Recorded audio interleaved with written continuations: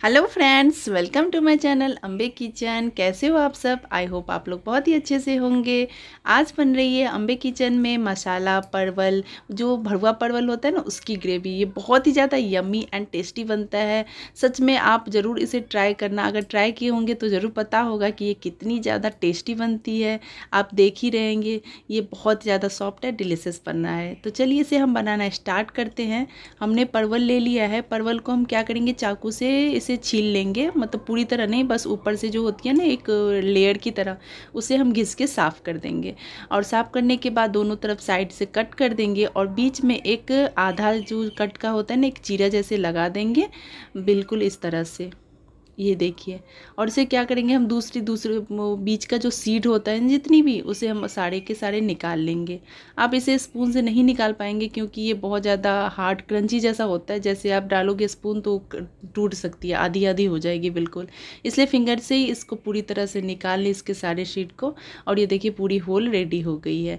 इसी तरह सारे पलवल का कर लेंगे और उसे वॉश कर लेंगे और पानी अच्छे से निकाल देंगे। अब चलिए हम ले लेते हैं मसाले की तैयारी कर लेते हैं, जिसके लिए हमने ले लिए छः प्याज और उस एक मैं प्याज, पाँच प्याज को मैं फाइनली चॉप कर दूँगी एकदम, ज़्यादा जो जैसे सब्ज़ी में भूनते हैं ना, बिल्कुल ऐसे ही फाइनली चॉप कर दूँगी। तो चलिए इसे हम चॉप कर लेते हैं। अगर आपका मेरा वीडियो अच्छा लगता है तो इसे लाइक, शेयर एंड सब्सक्राइब करना बिल्कुल ना भूलिए और हमेशा कनेक्टेड रहिए, कमेंट्स कीजिए और जो गलतियाँ होती है वो भी बताइए और अगर कुछ अच्छा है तो वो भी ज़रूर बताइए, मुझे अच्छा लगेगा। चलिए, हमने सारे प्याज जो दे बताए थे ना, पाँच प्याज को हमने फाइन चॉप कर ली थी और दो प्याज मैंने एक और प्याज ले ली थी और उसको रफली चॉप कर लिया था और दो टमाटर को कट कर लिए थे।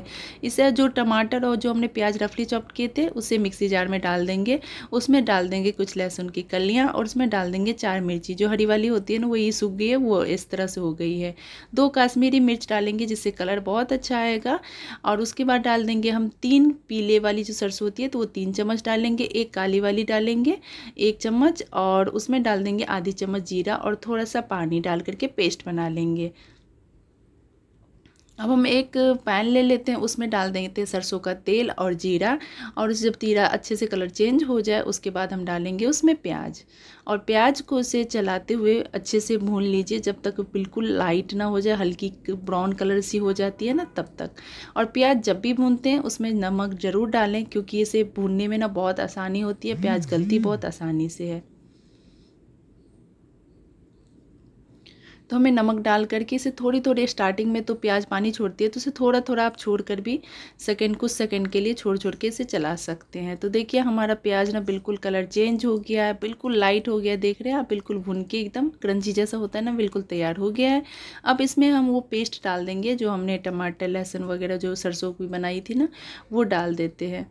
और डा, पूरी तरह हम सारे डाल देंगे, उसमें थोड़ा सा पानी डाल के जो भी बची खुची है, वो भी डाल देते हैं। उसे वेस्ट क्यों करना? और उसे डाल करके हम अच्छे से भूनेंगे। इसमें प्याज भी है थोड़ा सा पानी भी है। इसे भूनने में थोड़ा सा टाइम लगता है, पर मसाला जब भी भूने, इस तरह से बहुत अच्छे से भूने, उसका कलर चेंज होना चाहिए। मसाला बिल्कुल तेल छोड़ना चाहिए, तब उसका टेस्ट बहुत अच्छा आता है। अब इसमें मैं इस मसाले अभी गीली है, इसमें डाल देती हूँ मैं हल्दी धनिए का पाउडर और उसे भी डाल करके अच्छे से मिक्स करेंगे। मसाले में नमक हमने पहले ही डाल दिया प्याज में, इसलिए अभी इस टाइम में हम नमक नहीं डालेंगे। और उसे ढक लो फ्लेम पर ढक दे जिससे वो भूनने में आसानी होती है। तो देखिए साइड से हमारा तेल छोड़ने लगा है, पर अभी भी ये मसाला गीली है, इसमें पानी है, इसे हम और भी भूनेंगे। तो फिर इसे आप बीच में फिर एक बार लो मिक्स करके, ढक के फिर थोड़ी देर पका सकते हैं। तो चलिए, इसे हम और भी अच्छे से पका लेते हैं। देखिए, अब हमारा मसाला का कलर चेंज हो गया है। जितने वो पूरी तरह से पैन छोड़ने लगा है, तेल भी छोड़ दिया मसाला ये देख रहे हैं आप। यानी कि हमारा मसाला बिल्कुल अब रेडी है। इसका कलर भी देख रहे हैं, कितना सुंदर आ गया और खुशबू तो पूछिए मत, इतनी अच्छी आ रही है। तो मैंने इस टाइम में क्या कर, गैस को, फ्लेम को ऑफ़ कर दी हूँ। अब क्या करूँगी मैं इसके आधे मसाले ना वो पैन में ही छोड़ दूँगी ग्रेवी के लिए और आधा मैं स्टफ़ करूँगी परवल में, इसलिए मैं इसे एक प्लेट में निकाल लेती हूँ। अब परवल को हम ले लेंगे, परवल जो हमने कट करके रखी थी और इसे दोनों तरफ़ से ऐसे पीस दबाएँगे ना तो बीच का होल ऐसे हो जाएगा जिसमें आपको स्टफ़ करने में आसानी होगी। अब ये मसाला अभी बहुत गर्म है, आप चाहे तो इसे ठंडा करके भर सकते हैं। तो मैं इसे अभी अभी गर्म गर्म होती है, आपको पता है कि हाउस वाइफ कितनी ज़्यादा टाइम नहीं रहता है तो इसे जल्दी जल्दी करना होता है। मैं एक स्पून की सहायता से भर सकती हूँ, कोई प्रॉब्लम नहीं है। जब तक जब तक एक दो में भरेंगे, आपका मसाला ऑलरेडी ठंडा हुई, हो ही जाएगा। तो इस तरह आप इसमें भर दिए। तो चलिए हम सारे मसाले भर लेते हैं परवल में और उसके बाद हम उसे फ्राई कर लेंगे। तेल तो मैं डाल चुकी हूँ, ज़्यादा नहीं है, थोड़ा कम भी नहीं है, लेकिन आप तेल इस टाइम में कम ही डालें, क्योंकि ना ये मसाला थोड़ा सा निकलने लगता है, जब इसे फ्राई करेंगे तो देख रहे वो थोड़ा सा मुँह उसकी खुल जाती है। आप चाहे तो इसे लौंग से सील भी कर सकते हैं। तो इससे क्या होता है, मसाले, तेल ना थोड़ा गंदा हो जाता है, इसलिए इसमें एक्स्ट्रा तेल ना डालें। तो मैं भी, फिर भी फ्राई तो करना ही है तो इसमें थोड़ा डाल देती हूँ। आप चाहे तो सोलो फ्राई भी इसमें कर सकते हैं। तो देखिए, हमने दोनों तरफ़ से पलट करके जो हमारा कलर चेंज हो गया परवल का, हमने निकाल लिया है। अब दूसरी वाली जो परवल थी, उसे भी मैंने तल लिए थे मतलब पूरी परवल को हमने तल लिए थे अच्छे से। अब वो मसाले को हमने गैस फ्लेम ऑफ़, ऑन कर दिया है और मसाले को चला लेंगे क्योंकि ऑलरेडी वो भुनी हुई है। उसमें डाल देंगे बॉईल किए हुए दो आलू थे, जिसे मैंने कट कर ली थी। आप आलू स्किप कर सकते हैं। पर मुझे पसंद है जब कोई मसालेदार सब्ज़ी उसमें आलू हो तो मज़ा ही आ जाता है। तो इसलिए मैं उसमें आलू ज़रूर डालती हूँ। तो मैं आलू डाल करके उसे थोड़े अच्छे से मिक्स कर लिया है जिससे आलू पूरे मसाले में कोट हो जाए बिल्कुल उस तरह से। फिर उसमें पानी ऐड कर देंगे जितना हमें पानी चाहिए और उसे अच्छे से मिक्स कर देंगे। पानी हमें थोड़ा कम लग रहा था, इसलिए मैंने पानी डाल दी हूँ। और पानी डाली हूँ तो ज़रूर नमक भी डालूँगी, क्योंकि ग्रेवी में डाल बनाना है तो नमक उसमें होनी चाहिए। फिर उसमें अच्छे से मैं बॉयल आने दूँगी।